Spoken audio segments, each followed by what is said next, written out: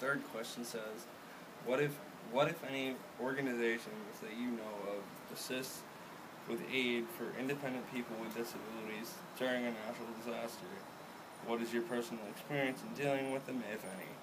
Um, the one that I know of offhand would be the Red Cross. They deal with a lot of the uh, emergency operation centers down here in Florida with hurricanes and all.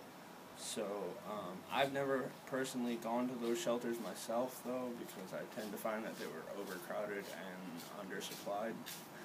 But um, that's as far as I know for someone in this area. You Usually go to a um, an emergency operations center or a Red Cross shelter. One of the two. Sometimes they're the same thing.